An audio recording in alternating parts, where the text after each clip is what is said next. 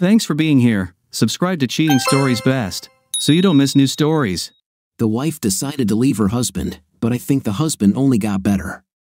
At the end of today's story, we will find out exactly what happened. Listen to the end. Enjoy the story. John looked at me with a grin that only five beers could produce. So, you're letting them drive you out of town? Don't get even. Nobody's driving me out of town, brother. This promotion was nine months in the making. I just happened to get it after we broke up. What time is it outside the window now? 912. I will live in the sunny south, and it looks like my house will be on the lake if my proposal is accepted. While you're freezing your fifth place here, I'll be sitting on the dock waiting for Mr. Big. You an idiot, I laughed. John loves to fish but hates ice fishing. I would really like to take him and his wife, Adele, with me. He is like a brother to me, and his wife is an angel, I thought. Just then, his angel appeared, taking off his coat and ordering a glass of wine. God, I froze my fifth place there. Before I had time to think, I blurted out. God forbid, she blushed and giggled. In a drunken stupor, I told her that her fifth place was the gold standard by which all women should be judged. Her hugs told me she wasn't angry, but she still broached the subject from time to time, especially when we were in a restaurant or club. What about that one over there? I looked at the quite attractive woman and grinned. Nope, flat enough to be ideal, but still a hot thing. It was our usual joke. If she didn't bring it up, then John did, just to watch me flush red. John kissed her and said that we were planning my revenge. She frowned, and I laughed. You should keep him away from these sights, they give him strange thoughts. I don't plan on doing anything stupid enough to land me in jail or go broke. In another two months, I will be living in grand style, and she will still be in this tundra with Bubba. Well, that is really with Bubba, Could it get any more trivial than that? I laughed. Besides, I think I've gotten along pretty well with them, don't I? It was as sad and stereotypical as it gets. I returned home in the middle of the day and found them in bed. I admit, for a minute, the idea of murder flashed through my head, but then I calmed down and took out my phone. They were in their own little world and didn't even know I was there. When I had enough photographs, it dawned on me that Martha hates cold and damp. It was snowing lightly, and the temperature was about minus seven. I removed the cap from the faucet in the garage and connected the hose to it. We live outside the city, and we have a well, and at this time of year, the water in it is almost icy. The hose was long enough to reach the bedroom door, and I waited for the climax, and then turned the water on full. He ran out of the house in a snowstorm completely without clothes. The police arrived, and they threw him into a car, and if it weren't for my neighbor, I would have been in big trouble. He told them that Bubba had threatened me, and it was true. The sergeant just grinned and asked if I wanted to press charges. I refused and even allowed him to enter the house and take my clothes. My dear wife was lying on the sofa, covered with all the blankets we had and still shaking. The policeman's grin grew even wider. Bubba received a free trip to the hospital to undergo psychotherapy. Before night fell, everyone in our small town already knew about the incident. I stayed overnight with my mother, calling Martha and telling her to leave the house in three days. She persisted, but my mother called the police again, and since the house was in her name, she was forced to leave. The divorce was not pleasant, and she almost had a nervous breakdown when she found out that the house did not belong to us. In the end, I gave her a car that she simply had to have and half of everything we had saved up, and by we, I mean me. As a result, she ended up in a small apartment living on a lump sum which I paid in lieu of alimony and trying to find a job while she still could. John chuckled at the memory. Yes, he will never survive this, and what your mother did is simply priceless. Bubba has become a laughing stock. Every time he says too much, where he works, they threaten to throw buckets of water on him. The women look at him and giggle. He pondered for some time, and after drinking enough alcohol, he came up with a brilliant plan. He will go to my mother's house and will whip on my fifth place to prove how terrible he is. He knocked on the front door and shouted to my mother to make me come out and look him in the eyes, Otherwise, he would take out everything that was on it. The downside to this plan was that I had already moved back to my old house. She calmly told him to wait at the door, and like a true idiot, he did so. A few minutes later, she came out from behind the house with her garden hose and doused him. She already called the police. The police picked him up and put him in the rear compartment of the car. He begged to be covered with a blanket or to turn on the heat, but they wouldn't turn it on until everyone had been interviewed. The interview took what seemed like an eternity. He turned blue, and then the doctors were called. They wrapped him in a blanket and took him to the hospital. He was again treated for hypothermia, and the police who questioned him made it clear that if anything like this happened again, they would react very slowly. He was then arrested for threats, trespassing, attempted assault, and being drunk in public. When he was examined at the hospital, his level of alcohol intoxication was three points above the legal limit. It took him three weeks to get out of prison, by which time he had lost his job, but he has a new nickname. Bubba was gone forever, his new name was Hoser. It had the meaning of break, he did it all himself, and I couldn't have asked for a better ending. He left the city under cover of darkness, and no one ever knew where he went. When Hoser left, Martha found herself with the prospect of living on her own and tried to do everything possible to achieve reconciliation, but it was too late. Besides, I had already moved, having become firmly accustomed to the new place. Mom said she got engaged again a week after the divorce became final. She never liked paying her own bills, she must have been very upset when our old house was put up for sale. She tried to persuade her new lover to propose, but he refused. Mom made good money from the sale and gave it to me so that I could buy a house in a new place. It was almost enough to buy the lake house I had my eye on, and when all the paperwork was done, I still owed less than the price of a used car, which I planned to pay off in three years. A few weeks later, there was a knock on my door, and my mother appeared on the doorstep with three suitcases. Bring them inside. I'll live here until I find a new home. What do you think? I will stay in this frozen wasteland while you yourself live here in the sun. Besides, you're my only child, and I don't want to be 500 miles away when the grandchildren arrive. My grandparents died and left her their house, brick in with two floors, with an area of 186 square meters on a plot of 80 acres. She got our house and her divorce from my father, who disappeared before the first child support payment was due. Mom was quite smart and constantly updated documents. When he was found four years later, he owed a lot of money. The judge forced him to pay it all back, adding 15% a month to the accrued alimony, which he now had to pay, otherwise, he would go to prison. When I graduated from college, he still owed her for two years, and she never forgave him. I probably got my vindictiveness from her. When my grandmother died, she moved into her house, giving me her old one. Now I'm glad that we never completed the paperwork. There was a new housing development on the ridge above the lake, and she found a nice two bedroom retirement cottage that just happened to be right across from me. I noticed an expensive pair of binoculars on her veranda, and she blushed, saying she was into bird watching. Five months later, to everyone, I was still a Yankee who had moved into the old Smith house, but mom was just one of the girls.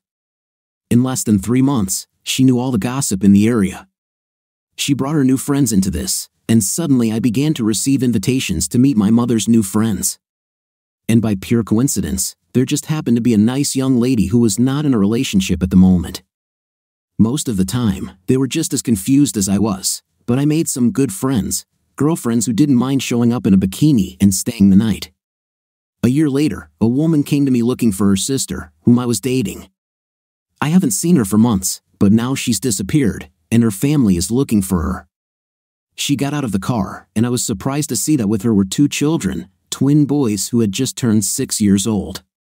She had a disapproving expression on her face, but a short conversation calmed her down. I closely watched the children, and they closely examined the pier. Would you like to contact him? They grabbed my hands and dragged me along. Their mother called out, Hey, did I give you permission to get close to the water? I looked over my shoulder.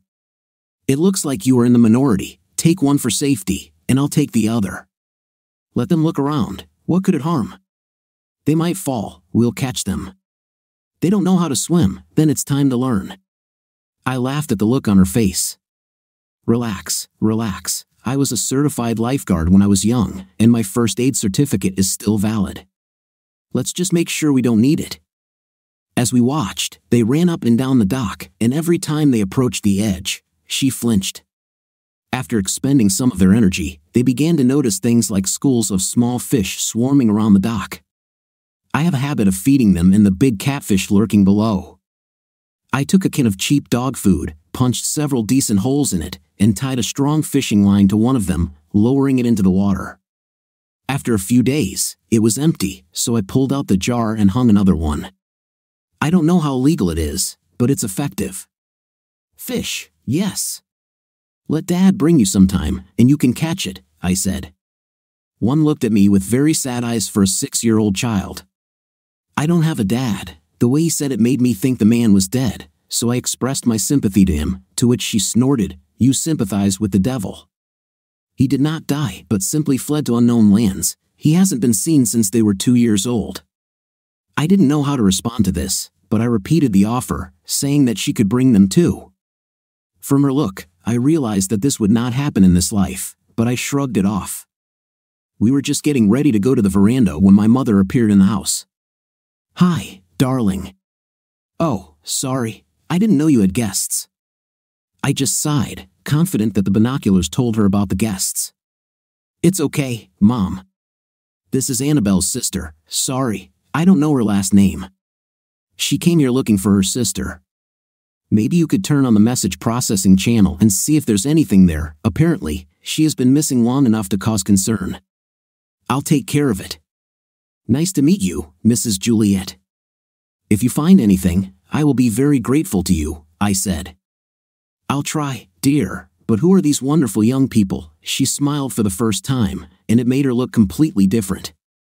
The one on the left is Tony, and the one on the right is Mark. Mark looked at the dish his mother was holding, and she smiled. I just bought cookies for my son. Kids are never old enough to give up cookies.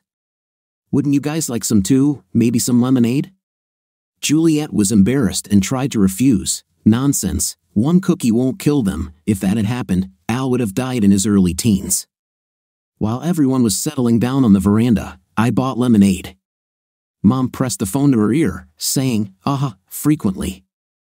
Juliet seemed to be in a much better mood already. Mom took the phone away and grinned. Betty talked to Irma, she talked to Gloria, she talked to Jade, and she told her that her cousin saw your sister two towns away at a traveler's rest with Joe Morgan. You know that this man is married, right? Also, on a cute girl. It was. We'll kill her. Juliet burst into tears, and her mother hugged her. The next moment, they were already sitting in her minivan and driving out of town, leaving the children with me. We looked at each other for several minutes. Would you like to go fishing? Yes, they really wanted to. I got out a couple of light rods and grabbed some worms from my worm farm, a plastic container that I kept filled with night crawlers and fed them with compost. I then went to my boat and took out two life jackets. I'm the only one here, and I want you to be safe. If you fall, you will immediately rise to the top like a cork, and everything will be fine. Now, be careful. They tried as hard as six year olds can, and they did a good job. Mark even caught a one kilogram catfish. He wanted to keep it, but when I asked if he wanted to personally skin it and fry it, he let him go after I took a photo of them. Tony felt a little deprived until he caught crappie, which is a class of freshwater fish. Rayfin, very good, good size, and also photographed. After an hour, they began to lose momentum, and we began to fold. I threw the remaining worms back into the container and took the kids to wash. They smelled strongly of fish and bait. To get rid of the stink, they wanted to take a bath, so I put them in the jacuzzi and turned on the jets. They squealed and laughed. As I took their clothes to the washing machine, soon it would be clean and dry. I hope so, I said. Do the boys. Their clothes were just starting to dry when they got out, so I helped them dry off as best they could, and they put on a couple of my t shirts. They hung down to the knees. After sitting them down on the sofa and turning on a cartoon channel on the big screen, I went to check their clothes. When I returned, they were already cuddled up to each other and fast asleep. Not knowing what else to do, I started dinner. Grilled pork chops with roasted corn are one of my favorite dishes. I had some baked beans left over, so I reheated those too. I was so engrossed in what I was doing that I didn't hear the car drive up. Juliet came out onto the veranda, so furious that she was on fire, and my mother walked behind, grinning. Before she could explode, Mom asked, What do we have here? The movement woke up the boys, and they flew outside, climbed on top of their mother, and began to tell her about fishing, how much they liked it, and that they swam in the jacuzzi. My mother went and got their clothes, took them into the house, and dressed them. I tried to distract her. Have you found Annabelle? Tears welled up in her eyes. She's using it again, and this, a married guy, is her dealer. Things got pretty tense, especially when I called his wife and told her where he was. She was only a minute away from us and was causing hell until the cops arrived. When illegal pills were found in the room, Annabelle and the guy got a free trip to prison, and his wife said she would use the time it took for him to get out to get himself a lawyer. We will try to raise money for the bail, but I don't know if we will succeed. When I was with her, she didn't take anything. What's happened? I asked. She met and fell in love with the wrong man. He got her hooked on illegal substances, and she didn't regret it. Talk to the district attorney, maybe he can persuade her to make a deal and go to rehab. If there was enough of a prohibited substance in the room, she faces criminal charges. There was a lot in the room, they were there precisely to renew their connection, Juliet explained. I saw mom and the boys coming out through the door into the patio, and she said, Here are your children. Put on a brave face and enjoy your meal. I'm sure cooking is the last thing on your mind right now. I lit candles to repel mosquitoes. The boys were full, their clean clothes were stained with barbecue sauce and oil, but their mother never complained, smiling to see them so happy. Later, we made a fire, and I let them roast marshmallows. Mom helped Mark, and Juliet helped Tony. I grinned, thinking that the passing boats thought this was just another happy family in the suburbs. I had to carry them to the car, fasten them with seat belts, and promise that they could come back any time Mom allowed, if she came too. She smiled and kissed my mother and me on the cheek. When their taillights disappeared over the hill, we returned to the house and started drinking coffee. She's beautiful, yes, beautiful. These boys are simply adorable, Mom remarked. Yes, she's been having a hard time since her husband disappeared, I said. Mother, what? Stop it. Okay, yes, she is sweet, and her children are wonderful, but she holds a lot of anger inside her, and until she lets it go, she will not be good for anyone. I'm not in the mood to try to re educate anyone, I replied. It might be worth a try. Then do it yourself. I wish I hadn't said that. Mom adopted Juliet, and soon the boys began calling her grandmother. She practically ate their adoration with a spoon. Soon, they were trooping down the hill to sunbathe on my veranda, while I stayed behind to tend to the boys. I endured this twice, and the next time they came, I said, Enjoy. I have work to do and won't be there until tomorrow. Lock the door when you leave, okay? I had a date with the little beauty for a simple, no strings attached, no expectations, other than night, good time. We went to a hotel 60 miles away, got a room, went to a restaurant, then to a bar where we partied until late at night, and then had intimate. We got up late, took a shower, and then went back to bed. We showered, checked out, and on the way home, I stopped at an expensive boutique to buy her a new dress. The old one was in her suitcase in very bad shape. I dropped her off, kissed her at the door, and then went home. If we saw each other again, it would be fun, but there was no spark after an intim, and we both knew it. So, I doubted a repeat. An hour later, my mother appeared at my door. Had a good time? Great, Mom, thanks for asking. Juliet was a little upset when you left. Why? Because she had to look after her own children for a change. You adopted them, not you raised them, and I'm talking more about the mother than the children. Mom was more than excited, it was inappropriate. I know how stubborn you are, but I was just hoping to give you a little push. She is a very sweet woman. How should I know? Every time I see her, she's with you and the kids, and we don't talk much, except about how to deal with boys. Mom, you're not pushing, you're pushing. Give it up, I replied. This silenced her, and she soon left. Two weeks later, Juliet drove up to my front door. I was surprised to see her alone and quickly hugged her. Where are the boys? Spending the night with your mother, along with Jen's two children. They've pitched a tent in the yard, but I'm willing to bet that at the first cry of an owl, they'll run into the house. I came to ask if you would take me for a ride on your boat. It would be great to spend some adult time on the water. If you're not busy, I need to check my calendar. Just look, this afternoon and evening, I am absolutely free. I'll go and get everything ready, and we'll put the refrigerator in. I won't drink while I'm running the boat, but there's a nearly full bottle of whatever red you like in the fridge. Take a few bottles of water, some food, and we're ready to go. My boat is quite large, something between a motor yacht and a speedboat, with a very powerful engine that can easily pull water skis, I explained. She had already prepared the refrigerator and changed into a very beautiful bikini and cape. Seeing my gaze, she grinned. I plan to sunbathe a little while we're here. Watch the water. I do not promise anything. I got into shorts and took some beach towels with me. I must say that we had a great time, she was as relaxed as I had ever seen her. I tried to teach her how to sail a boat, but she wasn't interested. We walked at a fairly good speed, and she watched the water rush by. I bet you could easily pull a skier with this thing. I used to like it, I said. I slowed the boat's engine down to idle and reached into the locker, taking out a pair of skis and a life belt. She refused at first and shook her head, but her body was ready for it. It took her a few tries to get on her skis, but within 30 minutes, she was having a blast. I noticed a couple of boats going by, and the guys were hooting, but I chalked it up to a cute woman in a little bikini. Until I reached out to help her into the boat.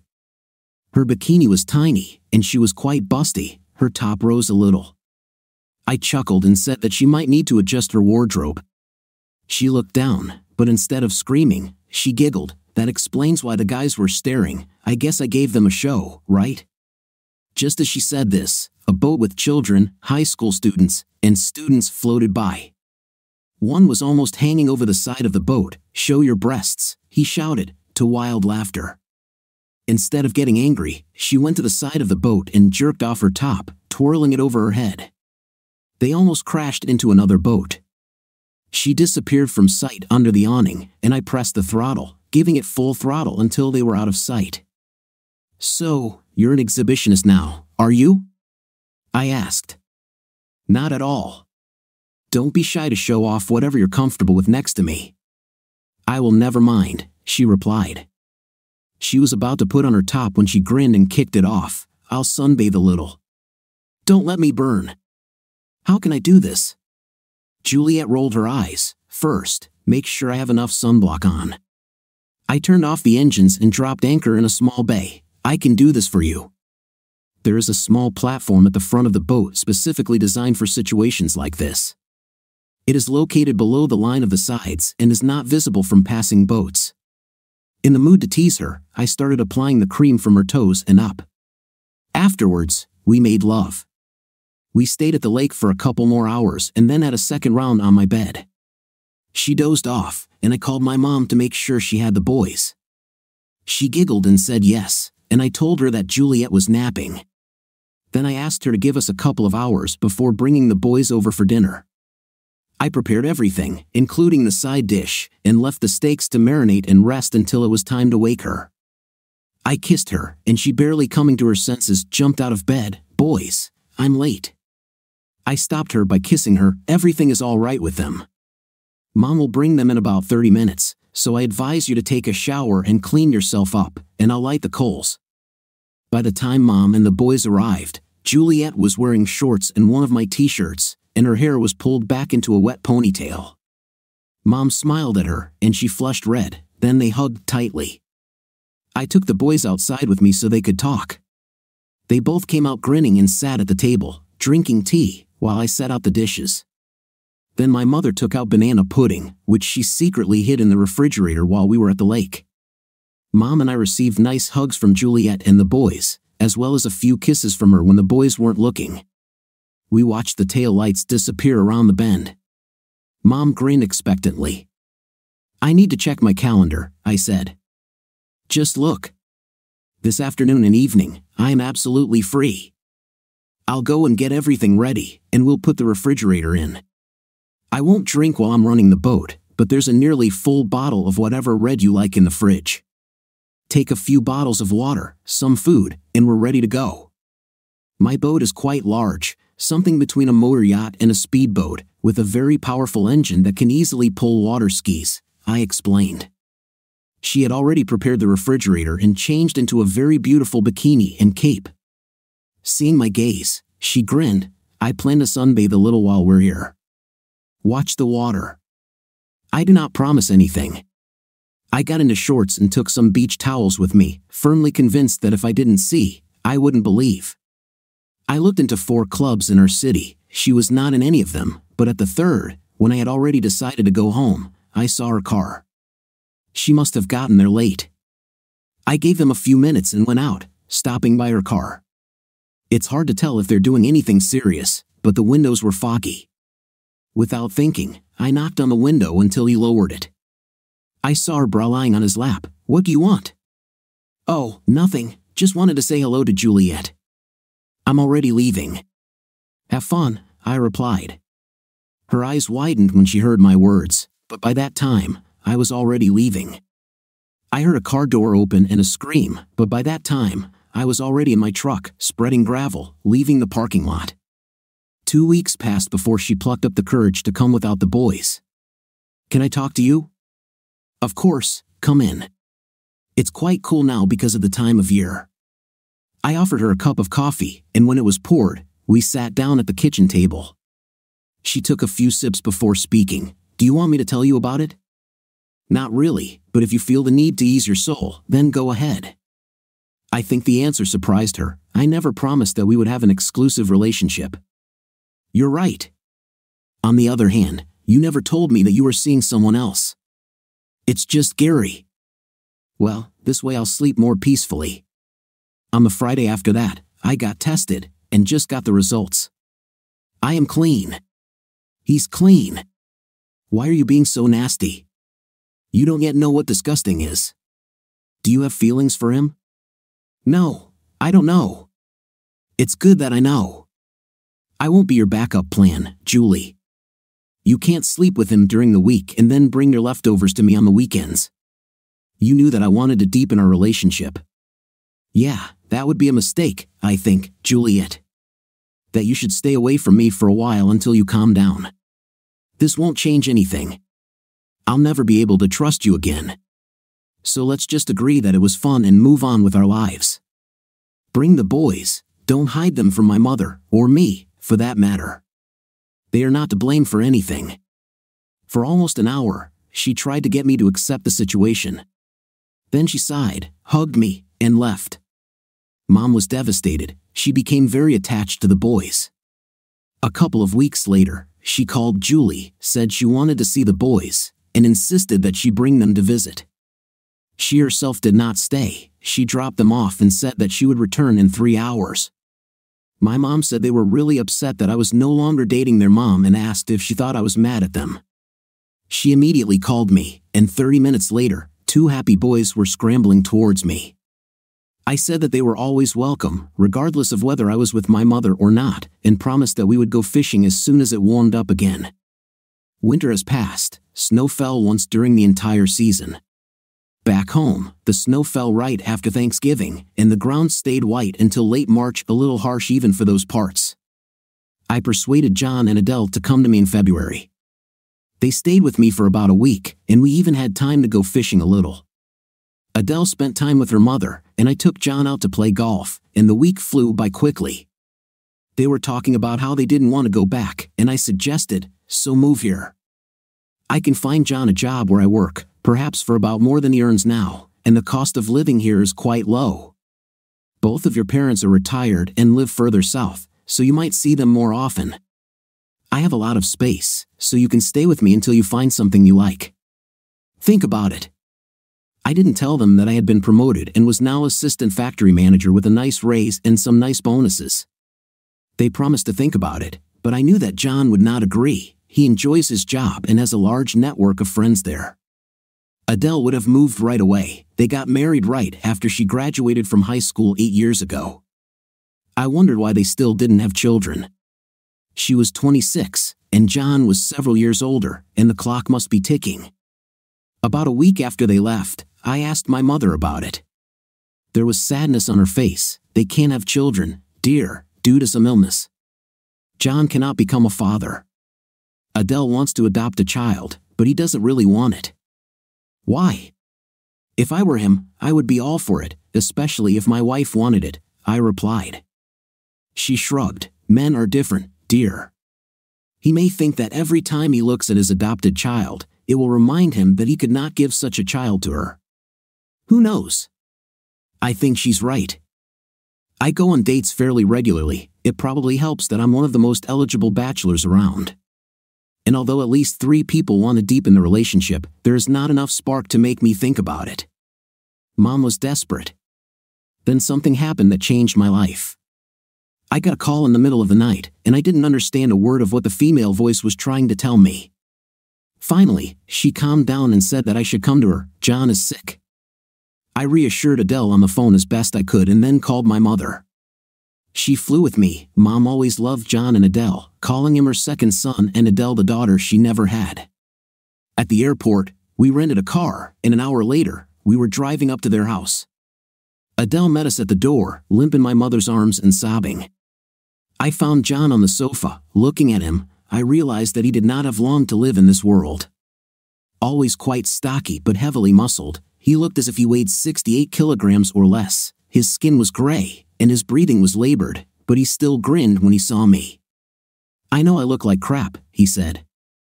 He had cancer, and it was spreading quickly. He resisted going to the doctor until it was too late, and nothing could be done about him other than sending him home and giving him a prescription for painkillers. Five months ago, he was given three months. I sat by his bed, and we talked all night, remembering what we had done, places we had been, friends we no longer saw, moving from one topic to another, sometimes laughing, sometimes silently crying. Closer to morning, he grabbed my hand. Take care of her, dude. Promise. I solemnly promised him, and he relaxed. Later the next day, he handed me a folder, whatever she needs insurance information, bank accounts. A week after, I found out, I paid for the funeral. She won't be able to think coherently, so you have to guide her, he said. I tried to brush it off, we still have a lot of time for this. You need to hold on. By that time, he was already lying on a hospital bed in the ward and grinning, You have always been an optimist. That night, he died in his sleep with his wife holding his hands. He was 33, and she was 27. The rest was a blur. I notified the funeral home, and they sent someone to pick up the body. The police were called, and the coroner examined his body at the morgue, after which he certified the death certificate. We followed his instructions to the letter, and I was surprised at how many people had gathered, but everyone who knew him loved him. During the funeral, I sat on one side of her, and her father sat on the other. My mother was next to me, and Adele's mother was next to her. I spent my entire vacation helping her with the paperwork that always follows death. I gave a copy of the death certificate to their insurance agent, and a week later, she received a check. The agent was my friend, and everything was simple and clear. In the end, I had to go back to work, and my mother promised to stay with her for a while. She stayed there for three weeks, and when she returned home, Adele was with her. Mom said that she wanted to rid herself of the memories that pop up with every step. Adele was like a zombie for another month before she came to me. I need a job. Your mom is great, but I need to go out and at least try to be productive again. After paying off the insurance and selling the house, I have about $400,000, so it's time for me to go house hunting. I was overjoyed that she was going to stay here. I told her how happy I was, and she gave me a rare smile. I would have moved here when you suggested. JN was stubborn. I don't think I could survive another winter there, especially if I was alone. My company hired her based on my recommendation. We didn't work together, but we had lunch together three or four times a week. She turned out to be very good at the job. She got increasing our department's efficiency by 4%, and although that didn't seem like much, the owners were very pleased. She made friends and found a small apartment. That's all I need at the moment. I think I'd like to live on a lake, so once I'm settled, maybe we could look at a few properties. I'd like to know your opinion. I once saw her in one of the clubs at a bachelorette party. She laughed and was almost constantly on the dance floor, but I noted that she did not slow dance with anyone or take drinks. She and Jan had been inseparable since she was 15, so I guess the club scene and her dating skills were a little rusty. We started talking about it the following Monday during lunch. I saw you on Saturday. You can still move, girl. Adele blushed but then grinned. Why weren't you there? I would love to dance with you. I was in the billiard room participating in a darts tournament. I was doing pretty well until this Brit showed up.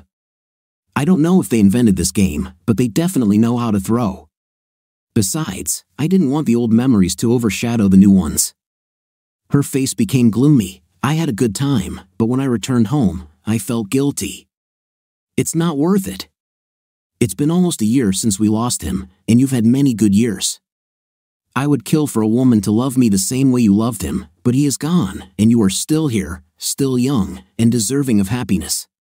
He must have laughed his head off watching. Why didn't you find someone else? You're not creepy, you have a good job and a house on the lake. I came close to it a couple of times, but it didn't work out. I believe that she is here somewhere, but now she is hiding very well. I wouldn't worry too much. As soon as you stop looking, you will find her.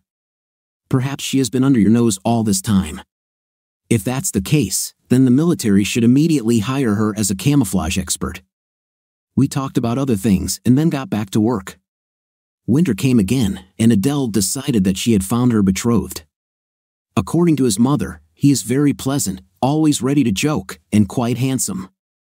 Something about his face made me grind my teeth, but she seemed happy, and I chalked it up to misplaced devotion to my old friend.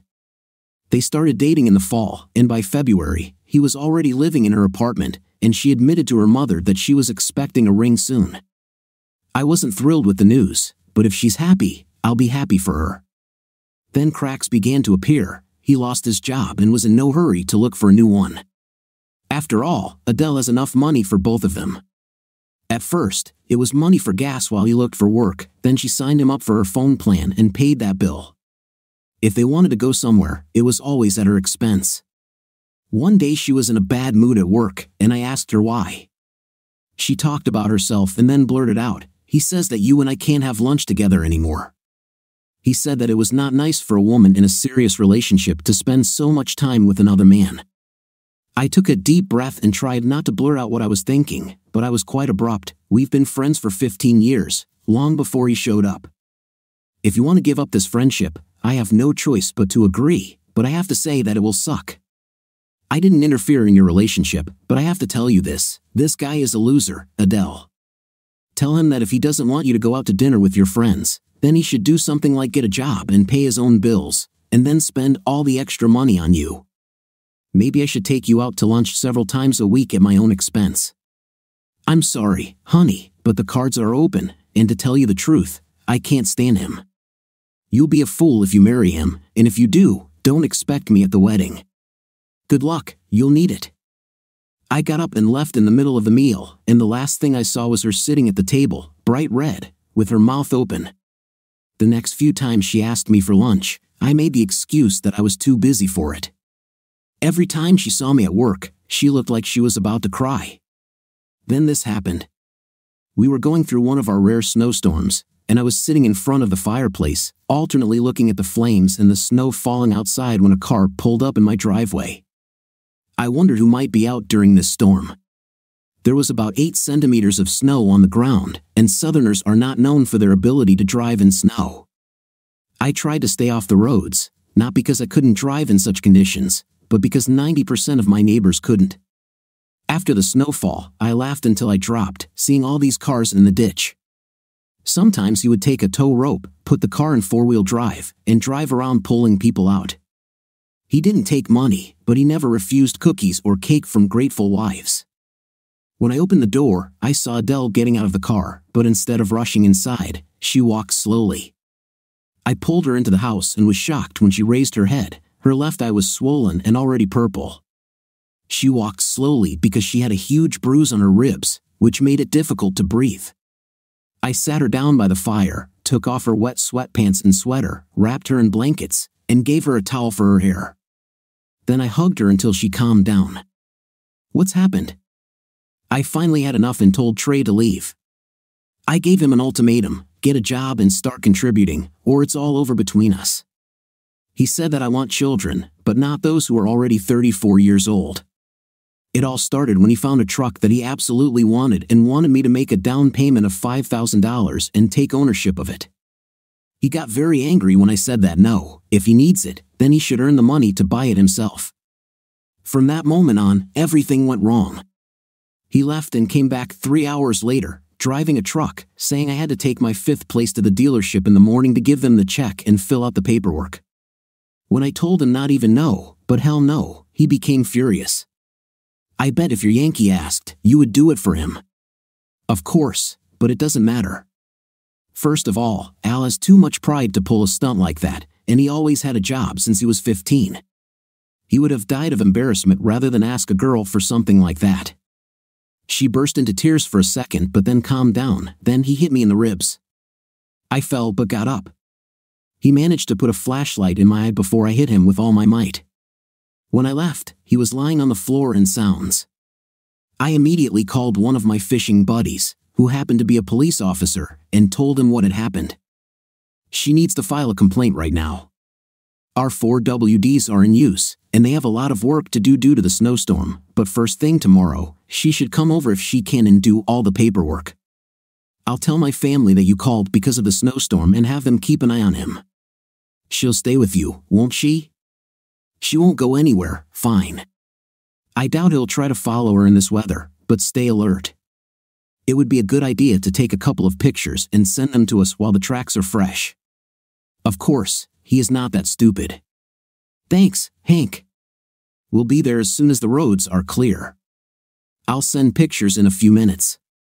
It turned out that he was just that stupid, and the alcohol he drank further lowered his IQ. Like I said, I live right on a lake, and my backyard overlooks it. He drove into the lake while driving a new truck, hitting my truck because he couldn't stop. He spun and rolled towards the water, and when he stopped, the back end was already in the lake, and no matter how hard he pressed the gas, it did not move. I don't believe in guns, which amuses my new friends immensely, and now I think I ought to listen to them. He walked up the hill, staggered, slipped, and fell three times before he reached the door. Adele called the police, and they told us not to open the door, so we ignored his screams and knocking. Then he was smart enough to come into my open garage and started banging on the door, screaming about what he was going to do to both of us. We would have let him rant, but he was smart, and a policeman arrived in time. He inspected the damage to my truck, the other truck in the water, and walked in with his gun drawn. He glanced at the guy with a look of disgust. Dude, are you crying? Well, you're a wuss. I would say you need to grow some dignity, but this woman seems to have taken it away from you. Sir, you're under arrest for criminal trespass, destruction of personal property, attempted breaking and entering, assault on a female, general assault, and anything else I can think of on the way from here to jail. Your life just turned to. Now, don't say a word from here to prison to protect your rights. Do you understand? He left it lying in the cold garage while he took readings, and then I had to help lift it into the back of the SUV. I pulled Adele into the shower to warm her up and left her with one of my t shirts and a thick robe. That night, she slept with me for safety, but it still felt very nice when she snuggled up to me.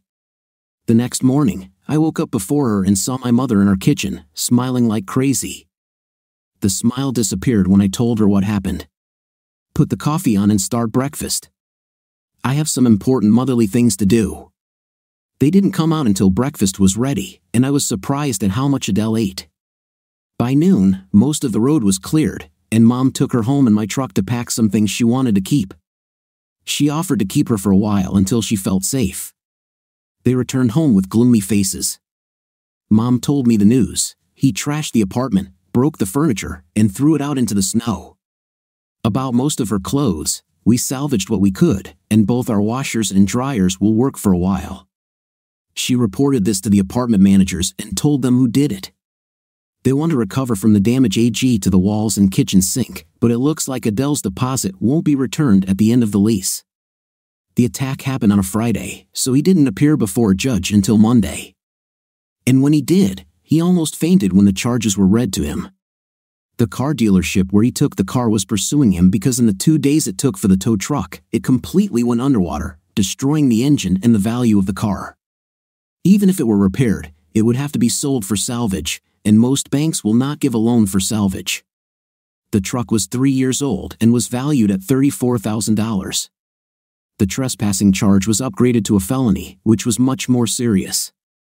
The damage done to my truck was six grand, and since the truck he was driving had dealer plates on it, the dealership had to pay for the repairs, which they immediately attached to their claim.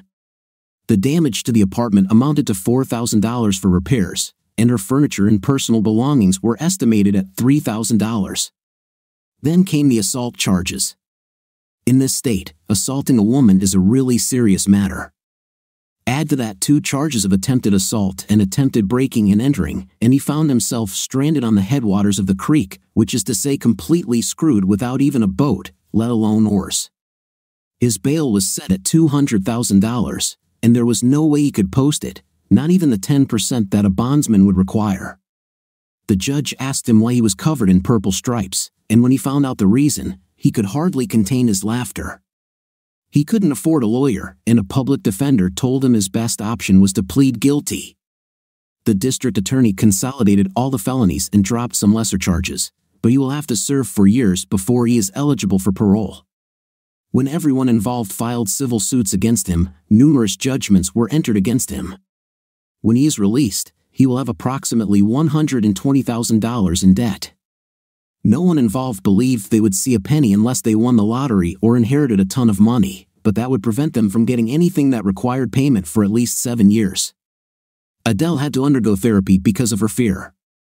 Almost a year passed before she was able to return to normal life. She bought a gun, took safety and concealed carry courses, and carries a gun almost everywhere.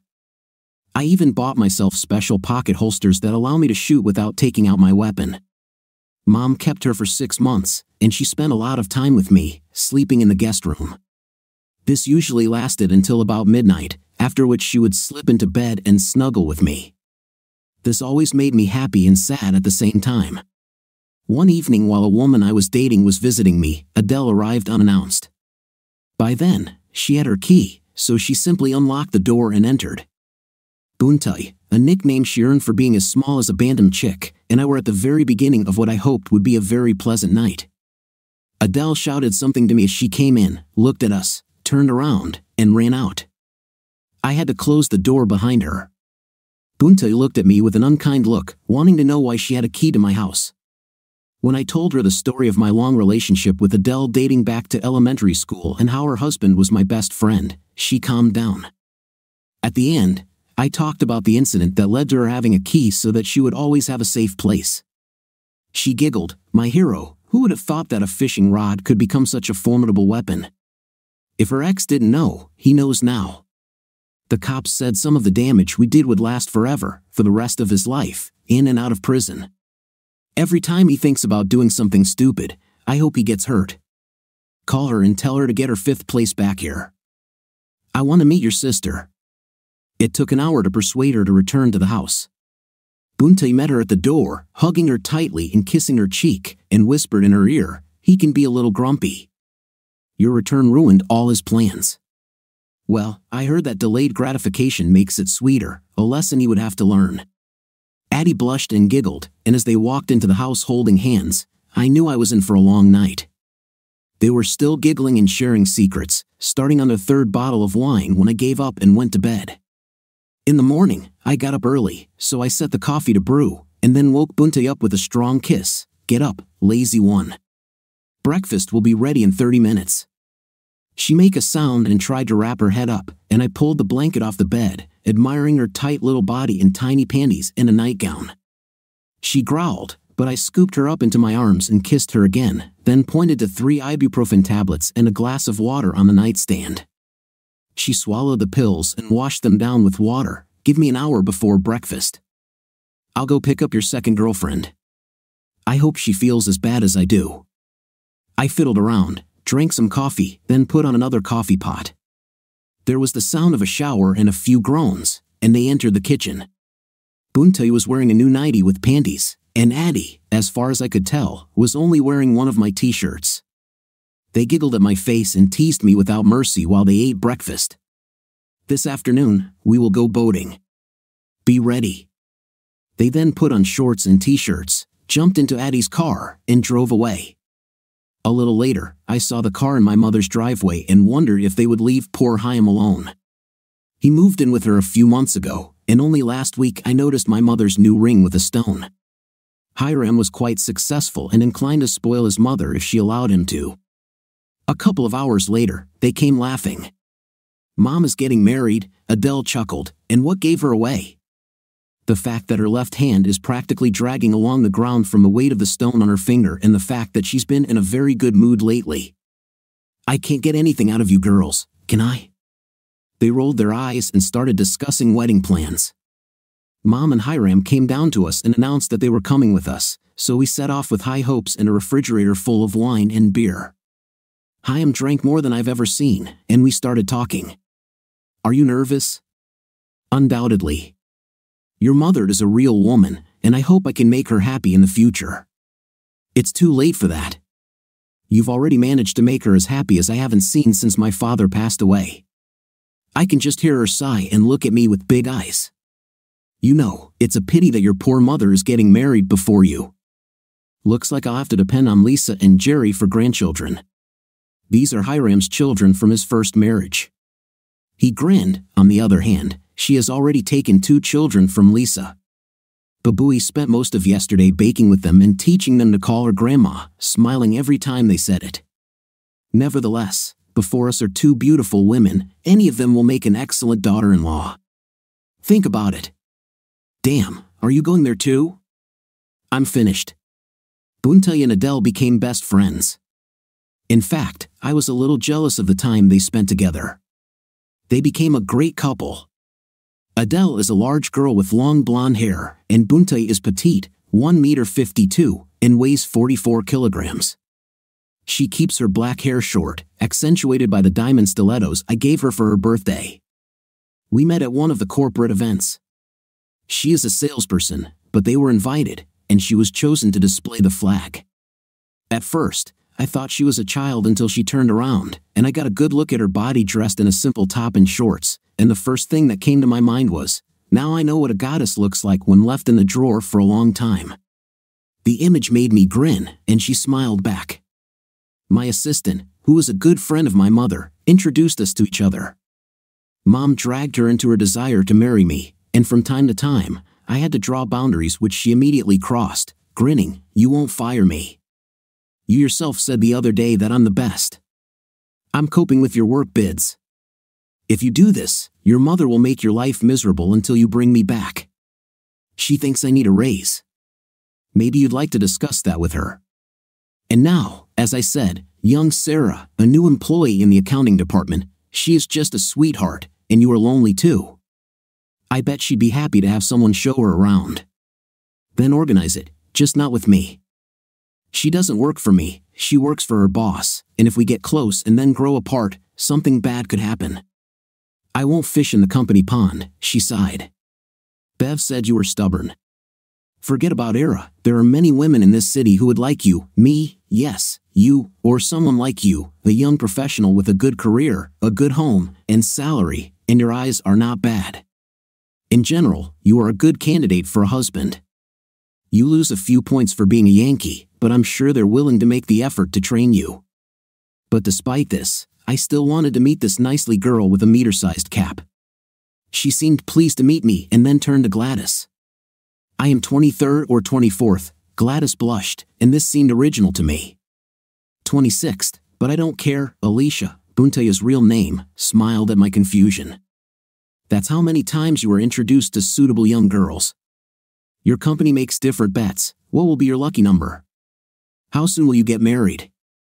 The time and gender of your first child. God, you guys are having fun here.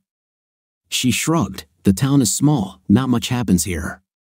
Let's get down to business. I'm 27, I've never been married. I have three brothers and one sister. I have a good job, and, of course, I'm very hot in bed. Helpful information. I'm sure you know everything about me down to my underwear size, but I'll tell you about the main thing. I'm 34, I was married once, and it didn't end very well. I own a house on a lake. I like to fish and spend time on the water. And if we start dating, the level of yours I define intimately from. The source you prefer knitted boxers with an 86 waist. Lake fishing is boring for you, better stream fishing and spinning. You'd rather hunt fish than just sit in a boat sipping beer and hoping for something to kill on your hook. Well then, we will remain unconvinced. There is something soothing about sitting in the middle of the night and listening to the sounds of nature under the full moon. If you are a stalker, a persistent pursuer, then I am more of a predator sitting in ambush, knowing the character and habits of his victim, and silently waiting for the opportunity to strike without warning. Then I'll keep a close eye on you. I wouldn't want to fall into a trap. Let's take some water, find a shady place, and discuss everything in more detail. I chuckled, a typical southerner. She prefers to do business in the shade when it's hot and in the sun when it's cold. Practicality has been developed over centuries. I turned to talk to Gladys but found that she was not there. Where did Gladys go? I can still see her grin. She probably decided to tell the person who chose 26 that he will soon become much richer. This is how our relationship began. We talked for another hour until it was time for her to leave. I stood up to say goodbye, and she threw herself into my arms, showering me with kisses. Then she pulled away and grinned, just for the sake of testing. Do your lips tingle? I tried to be careful, I didn't want you to get burned at the first contact. I was still trying to find the right words when she ran away. I turned around to see Gladys and six office ladies grinning after me. Not a word, Gladys, I said as I walked away. I heard laughter and looked at her, noticing that she was taking out her phone. Mom will have a full report before I even get in my truck. Banty showed up the following Wednesday. I raised my head and saw her standing in the doorway. Her smile made me feel good. Come on, you. Take me to lunch somewhere nice. I know you can afford it. Oh, and when we pass Gladys, expect a big kiss. I've already started marking my territory. It was a really big smack, and when she released me, I grinned at Gladys. I'll be back later, Gladys. Send SMS if anything happens, she muttered, fumbling for her phone. Yes, boss. Gladys, if my mom needs to contact me, I'm at Honey Hog. Alicia was still laughing when we walked out the door. Lunch turned into dinner. I took her to the nearest big city because the choice of entertainment in a small city was, to put it mildly, small. I think she enjoyed the theatrics of being in front of a dinner crowd, and we walked around a bit before heading home. She felt very good being on my arm despite the difference in height. Over the next few weeks, we talked and texted a lot. I felt like we had reached a milestone when she invited me to Sunday dinner to introduce her to her parents. I think they liked me. Her father turned the kitchen equipment around, and five Boston loaves were cooked on the grill along with three chickens and a brisket. You shouldn't start a fire just for a couple of cigarette butts, he told me as I stirred the coals, and he tended to the meat. I watched and learned because I wanted to be able to replicate what he did. We talked about different types of meat rubs and favorite sauces, he was surprised that I preferred the vinegar pepper flake version to the sweet Piedmont sauces. We stayed with him for about 45 minutes before a very angry woman appeared in front of us. That's enough, Daddy. Let him go. Mom hasn't gotten to him yet. He kissed her cheek and grinned. And he's not bad, dear, for a Yankee. I wondered if this was a sign of approval. Alicia's mother is almost as petite as herself, but she has blonde hair. She is sweet and unassuming, but when the conversation ended, I realized that this was precisely the interrogation methods of the Gestapo. She smiled sweetly and kissed me on the cheek, telling me to go help her husband while they prepared the side dishes. I grabbed a couple of bear claws, Danish almond scones filled with fruit jam, and started pinching them off while he sliced the brisket. He hadn't touched the chickens yet, and when her brother showed up, it reminded me of documentaries about hyenas butchering a carcass. Having had their fill, everyone sat down in the rocking chairs and chairs on the porch. Banty led me to the swing where she could snuggle with me. We talked about everything under the sun, and the conversation turned to fishing. Suddenly, it turned out that her brothers, their wives, and, in the case of one of them, the girl, were going to go on our boat this coming Saturday. Dad and Mom were planning to sail with us next Saturday. Later, walking her home, I couldn't resist teasing her. Our boat, yes, you stupid man, our boat. I need you to get used to the fact that I have grabbed you with all my claws, and I'm not going to let go. Do I have a right to vote? Yes, you need to learn to say yes, honey, quite often. But if you can't feel what I feel, take me home, otherwise, we will sleep in your old, my new house today. This is a hint of what I am suggesting. I don't know when she lost her bra, but she unbuttoned her blouse and showed breasts like I've never seen before. Her clothes never made it inside the house. The next morning, I had to go out and collect it and warm it up in the dryer. The next morning, we made love again, and when we finished, she sighed and hugged me. I love you, baby. Then it dawned on her what she had said, and she screamed, running into the bathroom. I flew right behind her, and she tried to hide in the shower. Say it again, I demanded. I, I didn't mean, I, I spanked her fifth place, and she squealed, but not with pleasure. If you don't want to have a red fifth place, repeat it again, I said firmly. I love you, she whimpered. Sorry. I should beat your fifth place black and blue for apologizing. If she weren't so beautiful and I didn't like her so much, I would have done just that. Now listen to me. You will repeat this to me at least every half hour until I take you home. Understand? When I decide that you are serious when you say this, I will tell you the same thing in return. By then, she was crying hard, so I turned on the shower and gently washed her while she sniffled. By the time we had finished, Banty had come to her senses and was smiling again. She wore one of my shirts, and it came down to her knees. I noted that only one button was fastened. Her phone rang, and she grinned. I love you. That's better. Well, shall we have breakfast? She giggled and ran around the kitchen, getting to know her while I finished cooking. Looking at her plate, she grinned, corn porridge. I like its taste. Shut up and eat. While we were washing the dishes, the doorbell rang. I will open, she took off, and I immediately followed her. At least she buttoned her shirt. Mom stood there and looked at us questioningly, and then grinned, introduced me, honey. I was deprived of this opportunity. Banty grabbed her hand. Hello, Mom. I'm Alicia, but most people call me Banty because of my size. I am your future daughter-in-law when your son is wise enough to propose to me. Mom's smile spread across her face, and she hugged her. He's a little slow sometimes, honey, but he usually gets where he needs to go. She stopped to kiss me on the cheek. Make us some fresh coffee, honey. Alicia and I may be late. I'm sure you have some urgent business outside that needs to be done in an hour or so, right? Crap, I had been driven out of my own home, but every good general knows that when he is outnumbered and outgunned, the best option is to leave the battlefield.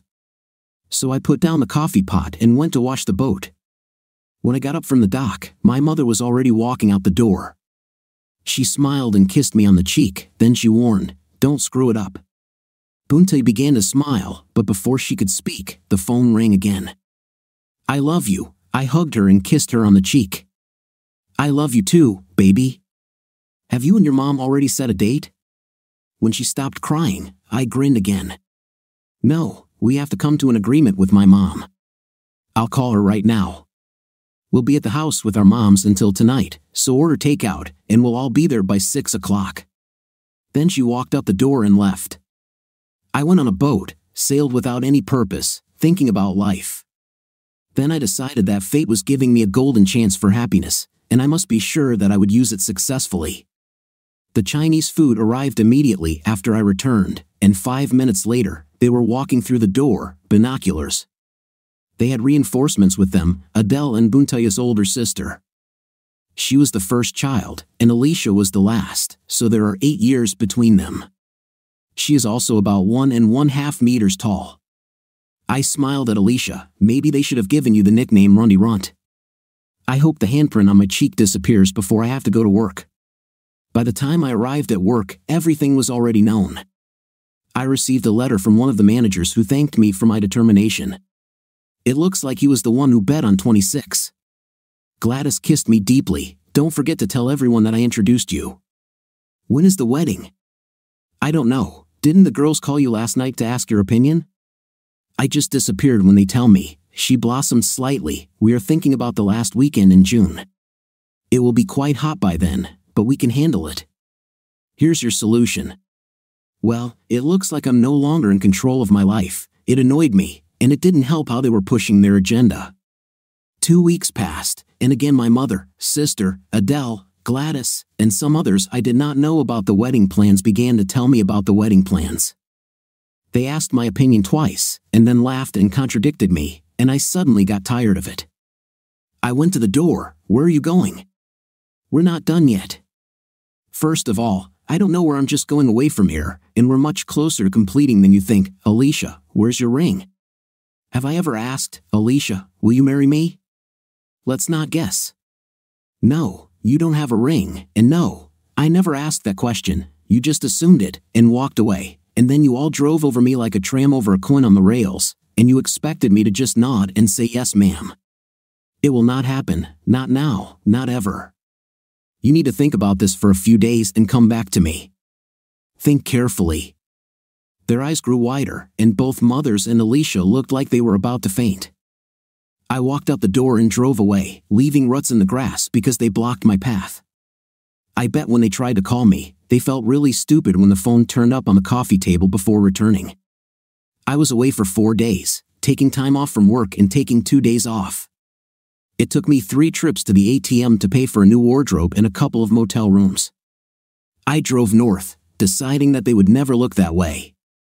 I was surprised when on the third day I was stopped by a female state trooper checking my registration and license. Sir, do you know that you are wanted as a missing person? No, I don't know at all. What do you mean I'm missing? I am an adult. I have no attachment. Why should anyone care where I am? My company knows because I took time off but they are the only ones I have to report to. She stepped back, sensing the irritation in my voice, then handed me the documents back. Excellent, sir, I'll cancel the missing persons report. I don't know what's going on in your life, and frankly, it's none of the state's business, but someone was concerned enough to fill out an application. It might be nice to call home, but that's your choice. Drive carefully, and all the best. When I pulled away, she was already talking on the radio, and I turned around at the next overpass and drove back the same way I came here. When I walked through the office doors on Wednesday, the look on Gladys's face was priceless. To my office immediately, and leave your cell phone in the drawer if you want to continue working here, Gladys. I watched as she took it and put it on the table. She looked like she was about to be executed when I made her sit down. Some new rules, Gladys. I like you, you're great at your job, and you'll be hard to replace but if you start prying into my personal affairs, if you tell Mom and Alicia about my every move, this will happen. Understood? She looked completely unhappy but nodded her head. Not enough. I need you to say it out loud. I promise, whatever happens in the office stays in the office, and I will never interfere in your personal life again.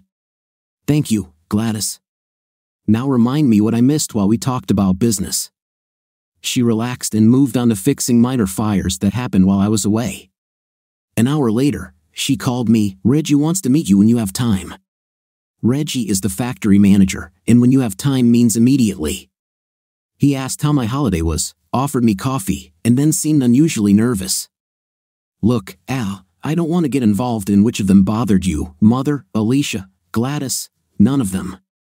Hiram texted me about how upset he was, he stopped, surprised that I stood up. You know, Reggie, I like you, and I like it here. For me, this is a dream job, but I made a vow to myself that if my personal and professional lives ever became intertwined, I would walk away from both. Will two weeks be enough? If not, I can give you a month, but no more. I'll send you an HR statement as soon as I get back to my desk.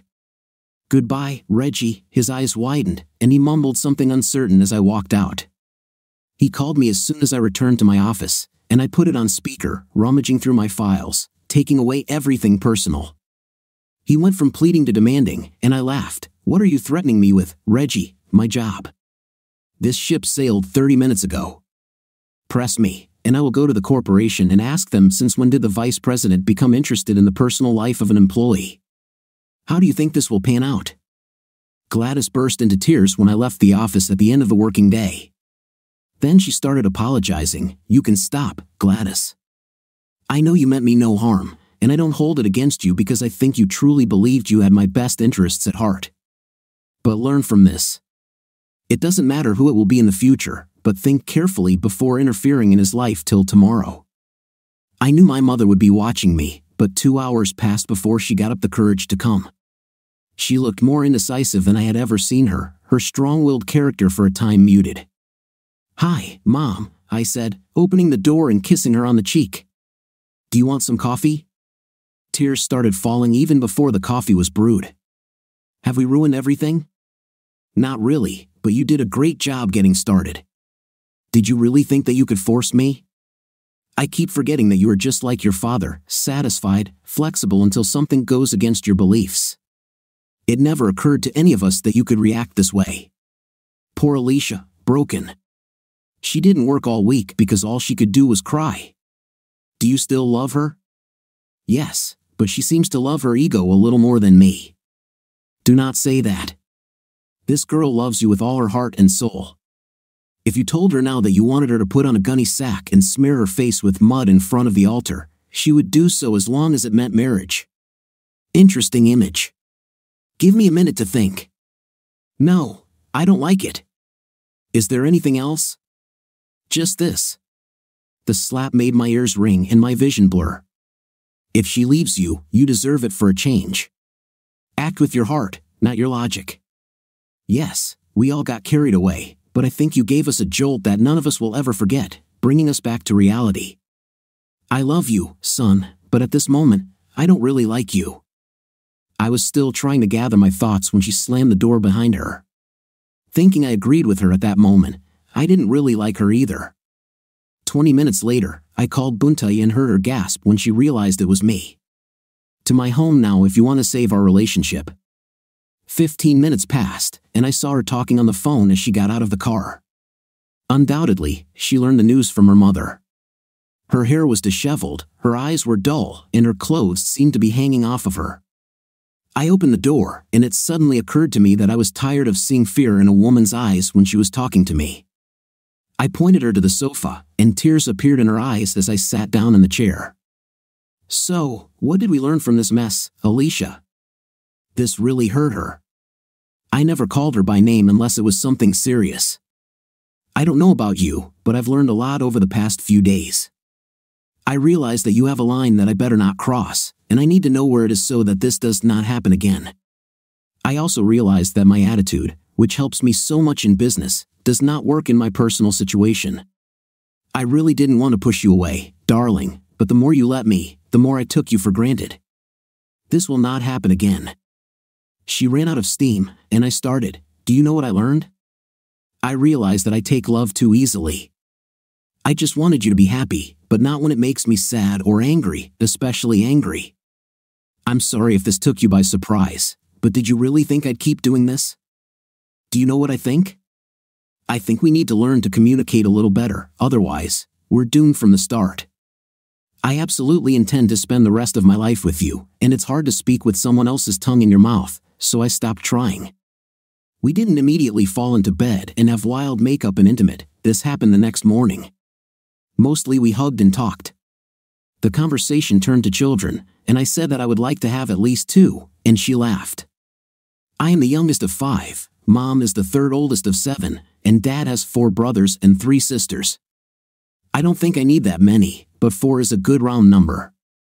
She moved in with me the following week, so by the time we got married, we were practically an established couple.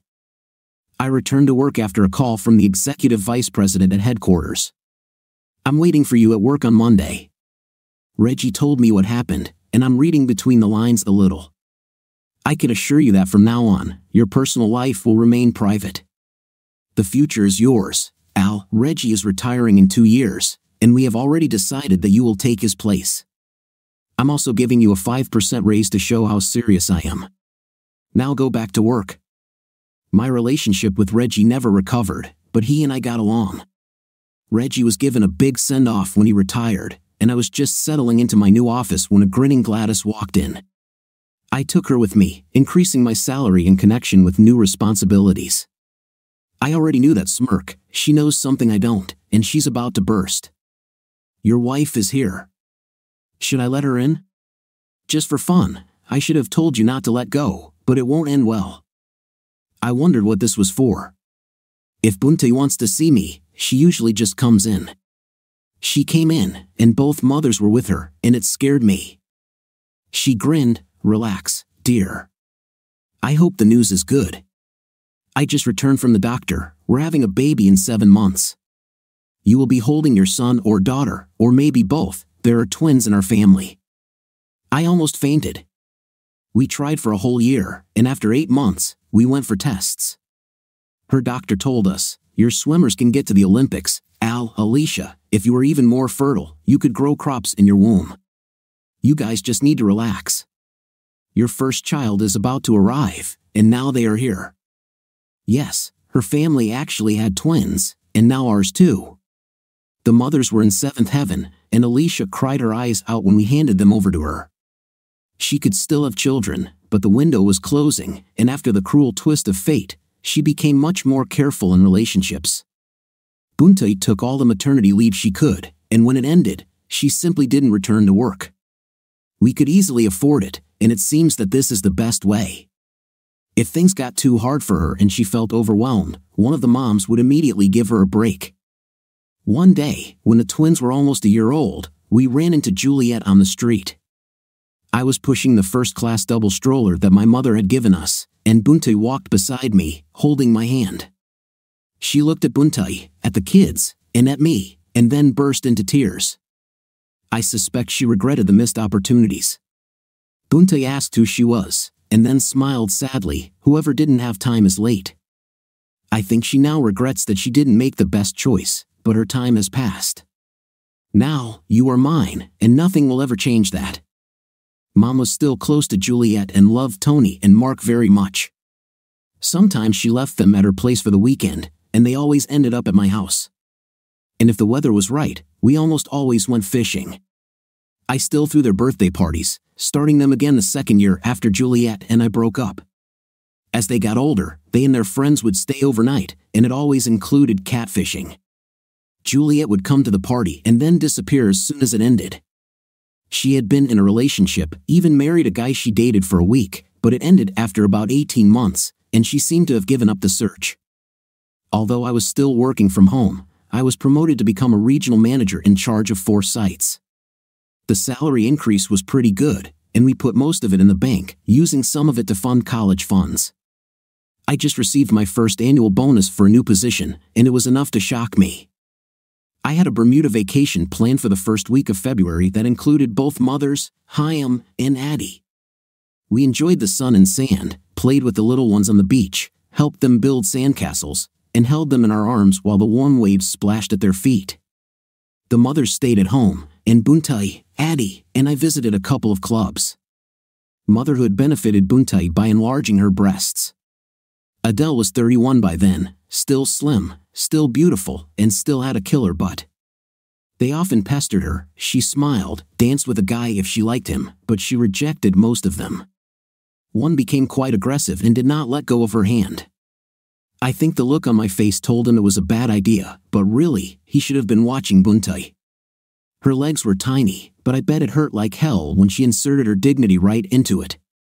He deflated like a balloon running out of air as Banty and Addie watched him with wide grins on their faces. We soon left, and he was still lying on the floor. Apparently, he doesn't have many friends. The ladies gave me a surprise by leaving Hiram and me with the kids while they spent the day shopping, dining, and briefly relaxing on the beach topless. It was after dinner and four drinks, and they forgot the sunblock. They came in giggling and snuggling, gave me lots of kisses, and went straight to bed. The next day, I noticed that they were not feeling well and found out that they were all slightly burned. Our hotel has a private beach, so the first thing they did after lunch was take off their tops and apply sunblock. They laughed at my expression and then blushed when I told the moms that they still had it, and Adele was just as impressive as I always imagined her to be.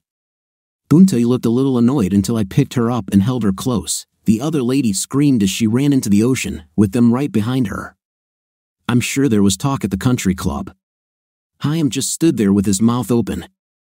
I bet the girls at the country club faced some backlash and rumors about their tanning spread. Many ladies ended up demanding a vacation somewhere in the sun, preferably without clothes. The children had just turned three years old and were trying to prove that perpetual motion was not just a theory. I was on an overnight business trip to one of the manufacturing plants because several problems had arisen there, and it was starting to affect production. The problem turned out to be management, and I ended up staying an extra night to put out the fire. I fired the assistant manager for inappropriate actions and conversations with his employees, both men and women.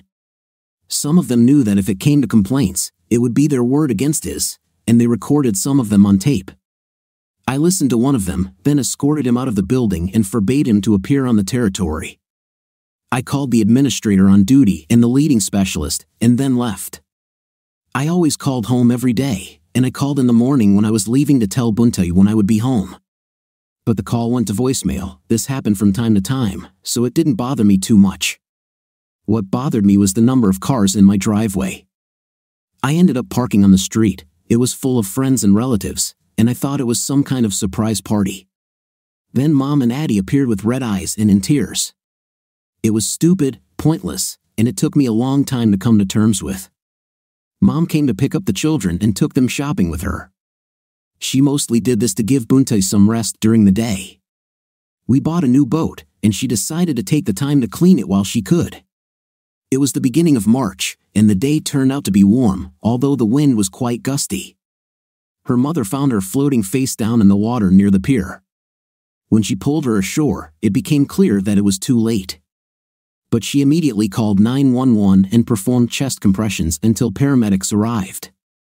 The doctors did everything they could, but it was too late. The official cause of death was drowning. She had a sizable bruise on her forehead, and authorities believed that a gust of wind had caused her to fall from the boat, hit her head on the side or dock, and drowned in an unconscious state. I barely remember that time. There was a large crowd at the funeral. Banty was very popular in the community, and I was a prominent figure in business circles. I don't think anyone came to the funeral for business reasons, but rather to show their support. She was 30 years old when she died.